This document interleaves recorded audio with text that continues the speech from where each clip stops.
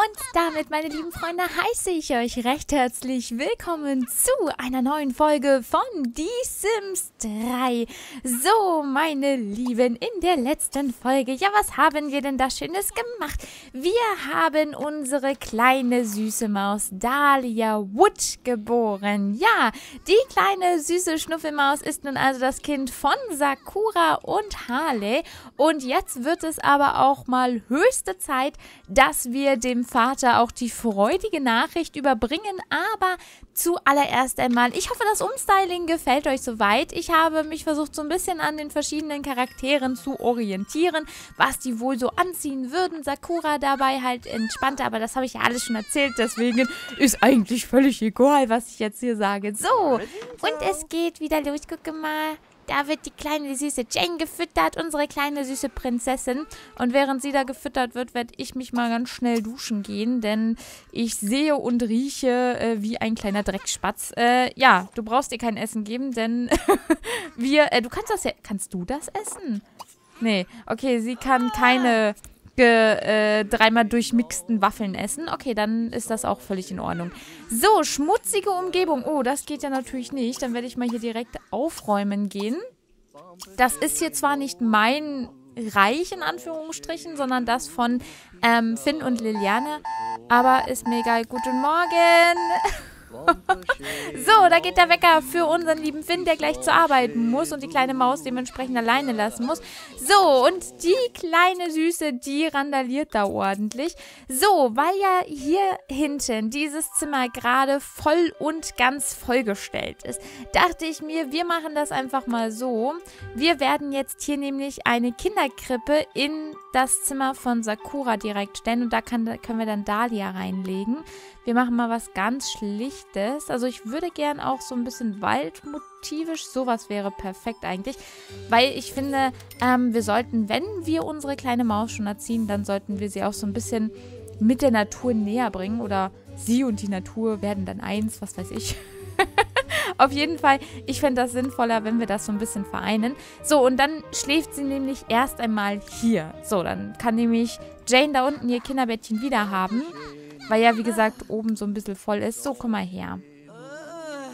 Was ist denn los? Warte, warte, warte. Komm, wir wechseln dir mal die schmutzigen Windeln, weil sonst bringst du mich heute noch total äh, um meinen Verstand. Oh. Guck mal, Prinzessin kann ordentlich Krach machen, wenn sie was braucht. ja, los, ich will das alles gar nicht. So, Gott sei Dank, Finn ist schon auf dem Weg, um die schmutzigen Windeln zu wechseln. Dann können wir das ja hier abbrechen. Dann werde ich aber trotzdem hier mal ein bisschen sauber machen, denn mein Sauberkeits... Oh, du möchtest heiraten. Woher kommt denn jetzt dieser Wunsch, meine Liebe? Eieieiei. Ja, und durch die Entführung der Aliens, hatte ich ja schon angedeutet, könnte eventuell in Lilianas Merkmalen da so ein bisschen Unordnung gekommen sein. Und tatsächlich, sie ist gar kein ähm, böser Mensch mehr, gar kein böser Sim, sondern sie ist inzwischen unglaublich ehrgeizig. Und das passt meiner Meinung nach auch sehr gut zu ihr. Denn, wie gesagt, sie möchte ja jetzt hier auch eine weltweit anerkannte Chirurgin werden. Und, ähm, ja, wir werden jetzt mal hier unseren Job als Getränkeberater auch aufgeben. Ähm, und ich werde mir dann einen richtigen Job suchen. Und zwar, dass ich hier ganz entspannt eine mega tolle Chirurgin werde. So, dann würde ich mal sagen, ich benutze mal hier unten ganz frech Euro-Dusche heute mal. Denn, äh, wie gesagt, ich denke, Finn würde mir das auch erlauben. Er ist ja momentan gerade, äh, ich treffe mal ein paar Kameraden, gerade arbeiten und Lil schläft ja sowieso noch. Und Dahlia ist auch gerade ganz verzögert. Ja, das war in der letzten Folge schon recht durchgeknallt, könnte man sagen. Wir haben Dahlia zu Hause geboren, also es war eine Hausgeburt. Und zusätzlich dazu wurde Liliana dann entführt. Also verrückter kann es nun wirklich nicht mehr geben, äh, zugehen bei einer Geburt. So, und heute werde ich mich darum kümmern, dass ich mal dem, äh, oh je, hier sieht es aber auch hässlich aus, dass ich mal dem guten Harley seine kleine Tochter vorstelle. So, dich nehmen wir dann mal hoch. Ähm, wir halten sie mal und dann legen wir sie nämlich da hier ins Kinderbettchen, damit sie dann auch dort oben. So, da muss ich, äh, ja, ich frage mich halt, wer jetzt von den beiden Mädels zu Hause bleiben soll.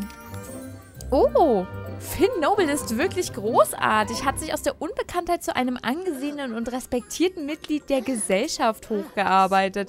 Deine Vorgesetzten sind begeistert von deinem Ehrgeiz. Wenn du über den Schützengraben erst einmal entronnen bist, brauchst du nie mehr im Schlamm zu robben. Dein Chef ist ganz und gar mit dir zufrieden und deine Jobleistung ist gestiegen. Eieiei, womit habe ich denn das verdient? Uh.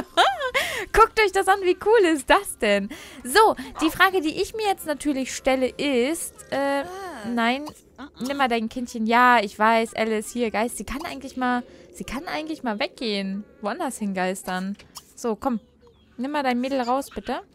Sehr schön.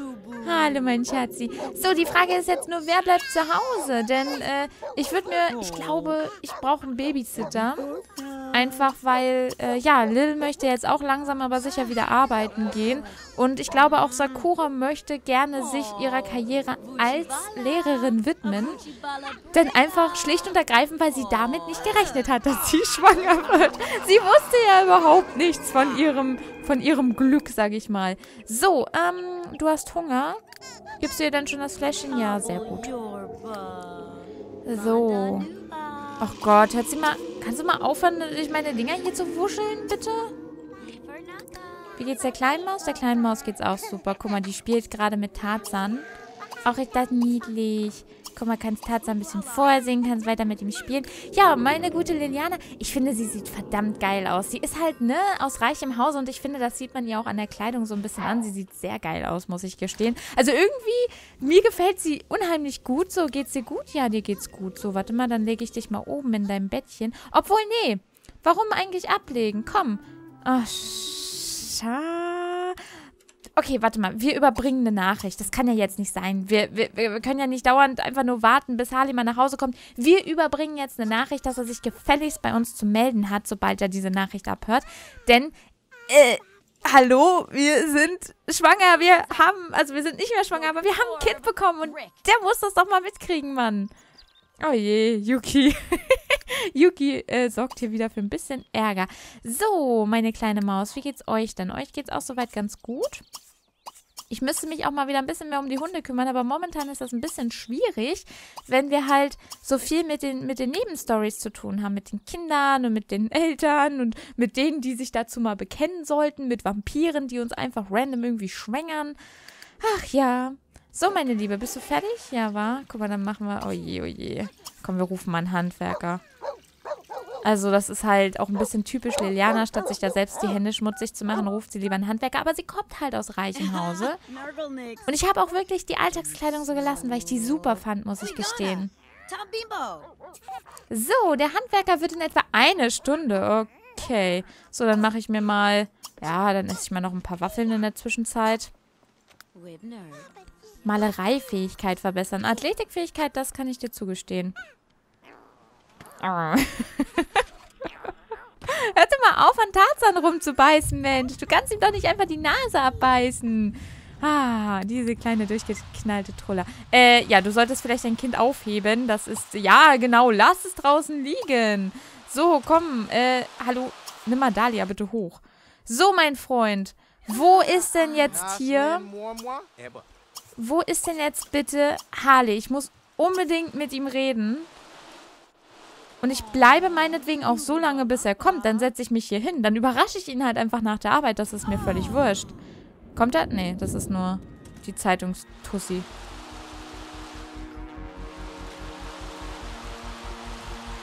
So, mein Freund.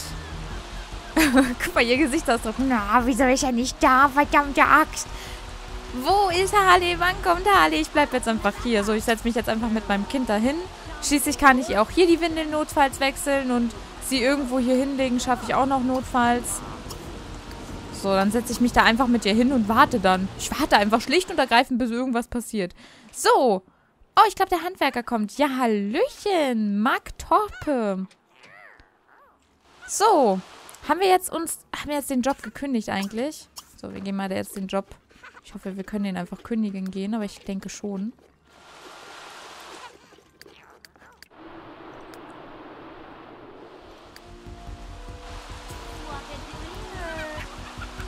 So.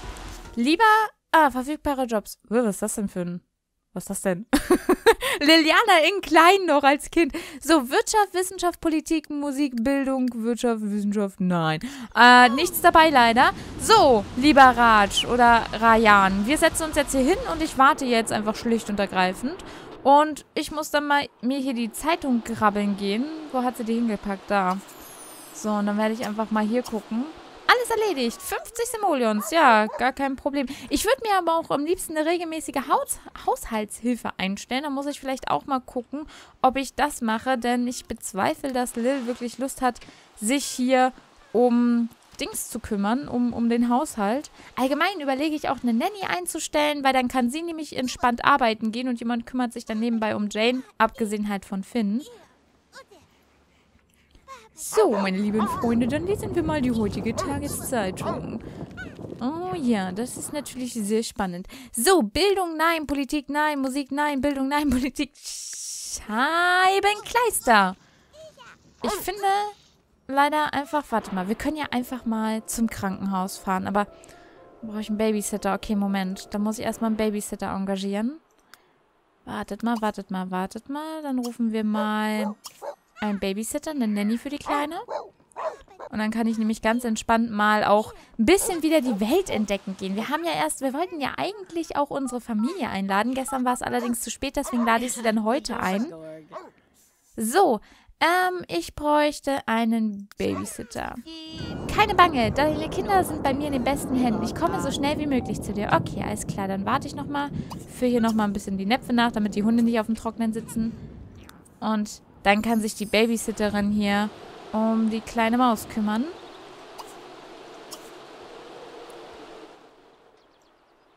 Wo bleibt sie denn? Also wirklich schneller Service ist das hier nicht. Ah, da ist sie. Sehr schön.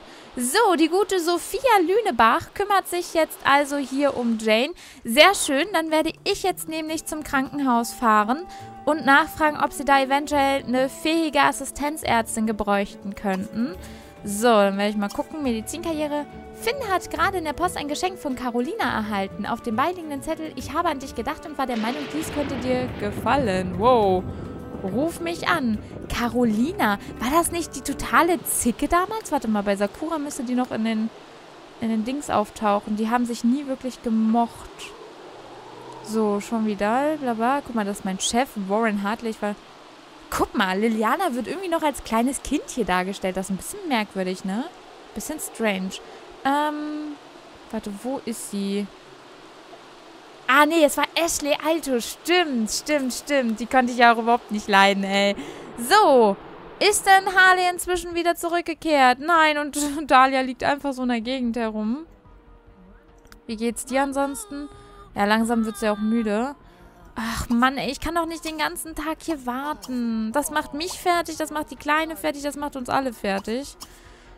Aber ich werde nicht aufgeben. Ich werde definitiv nicht aufgeben. So, was Finn wohl sagen wird, wenn wir erzählen, dass eine Babysitterin auf die Kleine aufpasst. Die irgendwie aber auch gar nicht so richtig ihren Job macht, ne? Also doch, gut, wir haben ja sowieso zwei, also wir haben eigentlich gerade nur ein Kind, eigentlich haben wir halt zwei.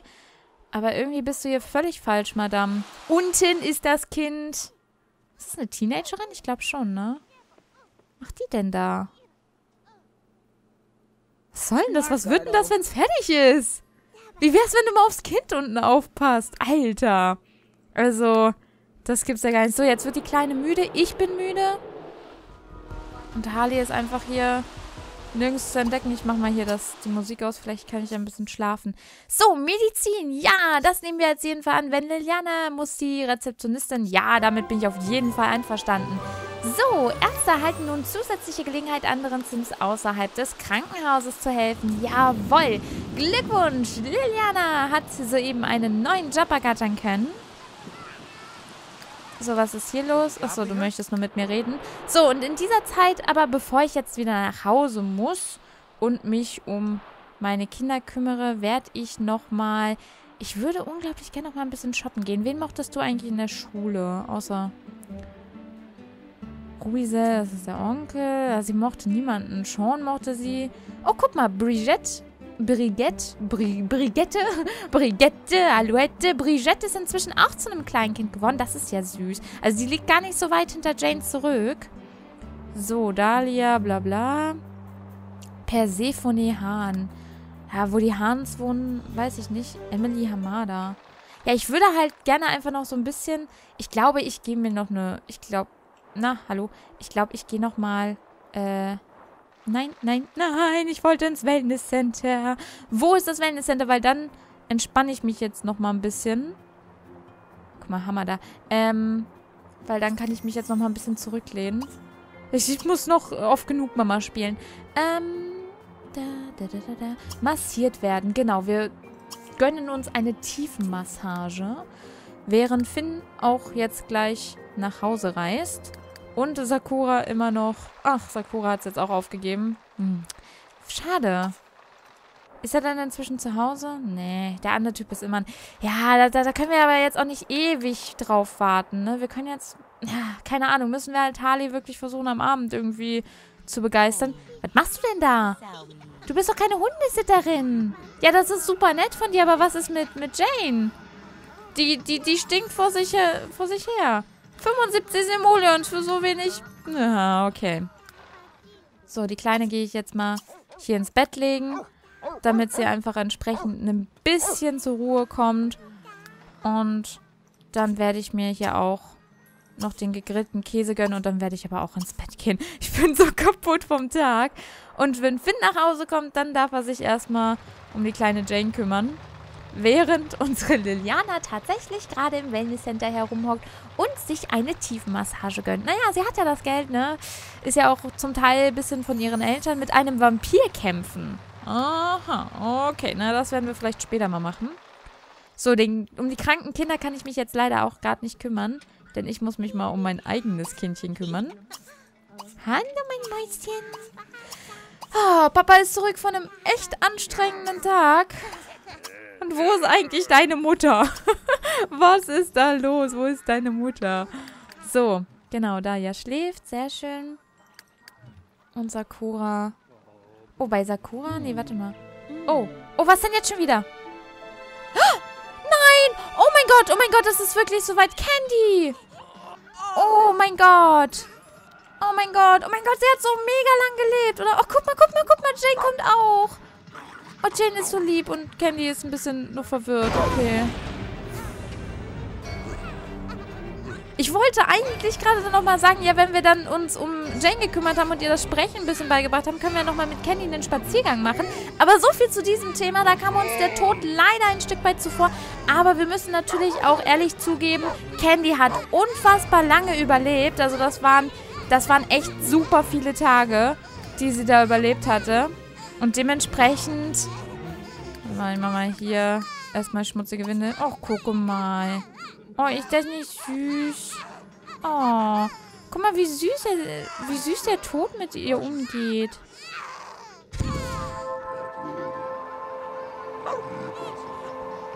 Und in so jungen Jahren wird die Kleine schon mit dem Tod konfrontiert. Eieieiei. So. Ja, Finn Nobel trauert um Candy. Aber meine lieben Leute, irgendwann musste es halt einfach mal passieren. Denn Sie hat wirklich unfassbar lange überlebt. So, ich werde jetzt hier mal die schmutzigen Windeln der Kleinen wechseln. Dann werde ich sie erstmal begrüßen und dann werde ich ihr auch das Sprechen heute beibringen. So, ja. Ah, nicht schlecht, Herr Specht. Da ist jetzt Kenny nun wirklich von uns gegangen. Lang, lang hat sie überlebt, die süße Maus. Und jetzt kommt sie natürlich auch an den Ehrenplatz. Hinten zu Gracie. Guck mal kann sie hier direkt hin. So, und inzwischen ist nur noch Yuki übrig. Unsere kleine Yuki. Ich habe auch beschlossen, also wenn wir wirklich jetzt äh, eine neue Tiergeneration anfangen, dann werden wir wirklich versuchen, dass es maximal zwei Tiere sind. Weil um zwei Tiere kann man sich kümmern, wenn man äh, das nebenbei halt wirklich mit den Kindern geregelt bekommt. Aber äh, um wie viele Tiere? Um, um sechs insgesamt. Das ist einfach viel zu viel. Die haben dann zwar genügend zum Spielen, aber äh, einer oder zwei sind auf jeden Fall ausreichend, meiner Meinung nach. Nein, aber sie hat doch Hunger. Mensch, was machst du denn da? Fütter doch deine Tochter. Was ist denn da jetzt los? Danach kannst du sie ja ins Bettchen bringen. Meine Güte, ja, das verwirrt ja alles nur dermaßen. Nee, aber dann werden wir auf jeden Fall jetzt noch äh, Yuki schöne Tage bereiten. Die ist ja auch weit schon über ihrem Alter hinaus. Und dann werden wir gucken einfach, dass wenn wir uns eine neue Tiergeneration anschaffen, ich würde das aber nicht sofort machen, einfach weil ich das ein bisschen pietätlos fände, wenn wir jetzt sofort sagen, ja, komm, lass mal jetzt eine Katze kaufen oder ein Pferd, ähm, dass wir dann so gar nicht äh, das wertschätzen, was wir hatten. Wie gesagt, waren ein paar viele Hunde. Aber daraus lernt man, daraus lernt die nächste Generation. Dadurch wissen wir, dass wenn wir Tiere bekommen, maximal zwei behalten werden. Vielleicht auch drei, ne, aber obwohl ich finde, zwei schon sind ziemlich viel. Ähm, und dass das auf jeden Fall irgendwo ausreichend ist, weil dann, dann werden wir nämlich äh, die anderen auch äh, weggeben dann entsprechend. So. Dich legen wir dann mal ins Bettchen damit du schlafen kannst. Und dann werde ich auch ganz dringend ins Bett gehen. Hallo, Yakura. Du futterst erstmal was. Sehr gut. Wie geht's Dahlia? Dahlia braucht ein Fläschchen. Das heißt, wenn du fertig bist. So, und was macht Lil? Ah, Lil kommt gerade wieder nach Hause. Hallo. Schön, dass du auch mal wieder da bist. Ja, hallo. So. Okay. Ja, eigentlich wollte ich ja jetzt meine Familie einladen. Dementsprechend werde ich jetzt einfach mal eine kleine spontane Mini-Party veranstalten, in Anführungsstrichen. Also keine richtige Party, aber einfach nur, dass, äh, ja, dass wir hier einfach mal unsere Family einladen, ne? Deswegen werde ich mal hier noch ein bisschen sauber machen. Soll ja nicht so dreckig aussehen. So. So, wir geben ähm, Bestattungsparty, nee, wir geben eine Einweihungsparty, starten das Ganze mal um 21 Uhr, machen mal eine formelle Kleidung und laden ein. Nee, Harley brauche ich nicht einladen, der kommt sowieso nicht. Ähm, so, hier, meine Familie. Jawohl. Wo ist die Kleine? Die Kleine können wir nicht einladen, oder was? Wahrscheinlich, weil wir die noch nicht kennengelernt haben. Aber das würde ja erstmal reichen, ne? Das ist ja so an sich meine Family. Dementsprechend, die lade ich mal ein, dass die jetzt vorbeikommen. So. Das soll natürlich keine Party in dem ursprünglichen Sinne werden, sondern einfach nur, damit meine Family mal hier das neue Haus bewundern kann. Aber, meine lieben Leute, wir werden jetzt hier an dieser Stelle einen Cut machen. Und wieder einmal ist ein bisschen was passiert, könnte man meinen. So, ich leg mal Dahlia ins Kinderbettchen, Mensch. So, aber äh, ja, davon werden wir uns nicht unterkriegen lassen. Und wir sehen uns dann. Wer bist du denn? Oh, du bist ja eine scharfe Paparazzi. Paparazzi. Gibt es eine weibliche Form von Paparazzi? Paparazzierin? Keine Ahnung. Auf jeden Fall, wir sehen uns dann in der nächsten Folge am am Donnerstag wieder. Ganz entspannt, dann werden wir hier unsere kleine Einweihungsparty feiern. Und äh, dafür muss ich meinen Mann jetzt auch mal hier aus dem Bett rausschmeißen, denn der soll ja hier entsprechend angezogen sein. So, meine Lieben, ich wünsche euch einen wunderschönen Tag und sage, wir sehen uns in einer nächsten Folge von Die Sims 3. Und bis dahin sage ich, bye bye.